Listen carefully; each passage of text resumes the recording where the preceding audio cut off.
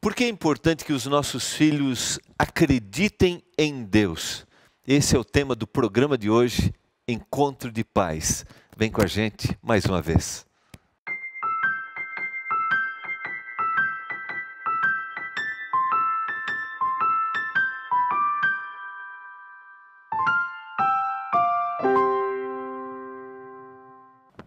Pastor Alas Barbosa, educador, conselheiro familiar, líder da Igreja Adventista na área de família para a América do Sul. Pastor Alas, é o nosso último momento, o último Nosso encontro. último encontro. É, por que, que é importante que nós ensinemos aos nossos filhos a existência de um Deus que cuida, que protege, que tem orientações, que tem um caminho para a gente? Veja, pastor Gilmar, todos nós precisamos de referência. Saber para onde estamos indo, quem somos e de onde viemos. E Deus é exatamente isso. Ele mostra de onde viemos, quem somos, o que podemos nos tornar pelo seu amor e para onde estamos caminhando. Agora, se não há Deus, as crianças, as pessoas, as famílias não têm um referencial de conduta, de valores, de princípios. Então, Deus é aquele que nos mostra o caminho, como conduzir, como caminhar, como sair, como entrar em qualquer situação da nossa vida. É a nossa referência. Se tornam boas pessoas, são boas pessoas, mas precisam da presença de, de Deus, Deus. de crer em Deus. Uhum, para saber para onde estamos caminhando. Pastor Alas, como eu mostro Deus para os meus filhos? Veja, pastor Gilmar, uma coisa importante é entender de que o pai, quando eu falo pai, agora é do gênero masculino, ele tem a, a tarefa de ser o sacerdote, de mostrar os atributos de Deus na sua vida. Olha que coisa fantástica ser um pai. Porque o pai é aquele que vai viver, ou deveria viver, diante da esposa e dos filhos, os valores de Deus. Então, a pessoa mais mansa, mais bondosa, mais firme com os princípios, Mais mais, coerente, mais amorosa, mais justa, mais correta, deveria ser o pai.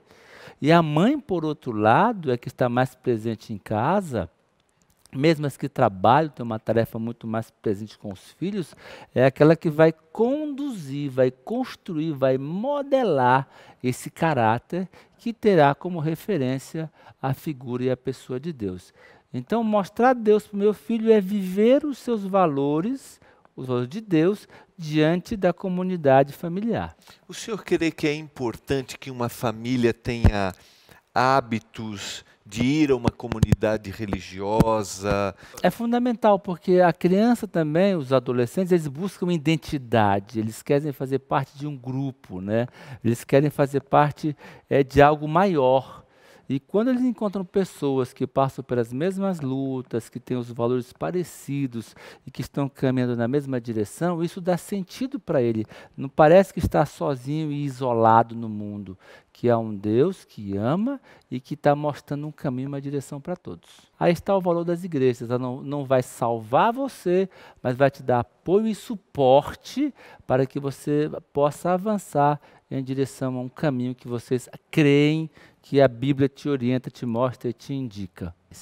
E durante esses oito programas a gente teve esse objetivo de cumprir a orientação que está em Provérbios 22, 22, verso 6. E nós temos essa tarefa de fazê-lo. E nesse momento eu queria deixar aqui um desafio que cada um, ao observar esses programas, pudesse compreender como poderão ensinar os seus filhos nesse caminho para a eternidade. Pastor Alas, queria que o senhor orasse a Deus Vamos orar. eh, por esses queridos pais que, que têm buscado acertar. Vamos orar por todos. Querido Senhor, queremos conduzir nossos filhos para a eternidade. Se em algum momento erramos por ignorância, por negligência, pedimos perdão e te pedimos sabedoria para buscar ainda o que temos. Sempre é tempo para resgatar. E aqueles que têm conseguido caminhar de uma forma mais coerente, que tenham forças espirituais, força do céu para continuar nesse caminho, conduzindo seus filhos para a eternidade. Obrigado por teu amor, pela salvação em Jesus. Te pedimos em nome de Cristo Jesus, nosso Salvador. Amém. Pastor Alas, obrigado. De nada, foi um Hoje não dá privilégio. para dizer o próximo, Não dá. mas Haverá sempre momento, próximo. sempre haverá sempre haverá. o próximo. foi bom demais estar com você durante esses oito programas.